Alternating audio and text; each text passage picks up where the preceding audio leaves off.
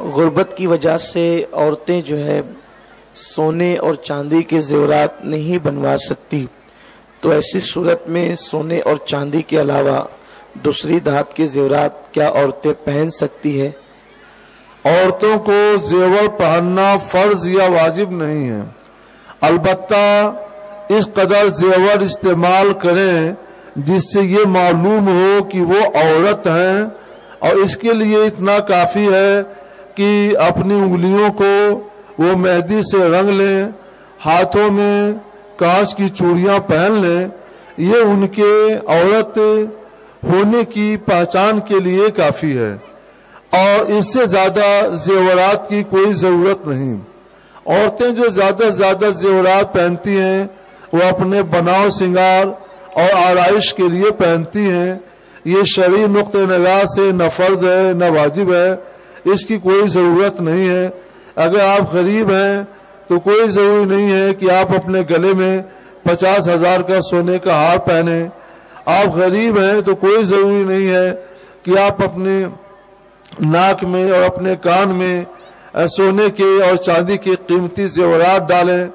इतना काफ़ी है कि आपके हाथ में चूड़ियाँ हों, आपकी उंगलियाँ, आपके नाखून मेहंदी से रंगी हुई हों ये पता चले कि हाथ औरत का हाथ है, मर्द का हाथ नहीं है। इसके अलावा अगर आप यही चाहती हैं कि जेवरात पहने तो कम से कम दाम का, चांदी का, हल्का फुल्का जेवर पहन सकती हैं। आज भी चांदी के जेवर बहुत सस्ते हैं तो छोटे मोटे कम दाम के चांदी के जेवरात इस्तेमाल कर लें तो इससे आपकी जेवरात के ज़रिए आरइश और बनाव सिंगार की ख्वाहिश भी पूरी हो सकती है। हाँ अगर आप ये चाहती हैं कि रोल्ड गोल्ड के जेवरात का इस्तेमाल जायज़ करार दिया जाए तो ये नहीं हो सकता, क्योंकि धात में सिर्फ़ सोने और चांदी के जेवरात हलाल है और सोने चांदी के अलावा किसी भी धात का जेवर हलाल नहीं है।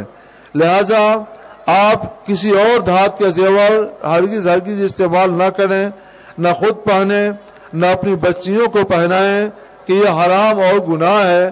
और शरीयत ने जितनी आपको इजाज़त दी है, उसी के मुताबिक ज़िंदगी गुजारें। आप शरीयत की पैरवी की नीयत से ज़िंदगी गुजारेंगी सादगी के साथ।